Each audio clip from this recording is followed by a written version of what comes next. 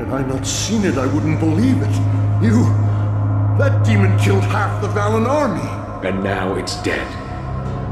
I know you. You're the one they say laid with the Queen. Is that what they say? It appears so. Not that it matters now. Our king is dead. Valentia has fallen. As long as the Valen walk the world, Valentia still stands. I wish I could share in your bravado. How can we banish these demons?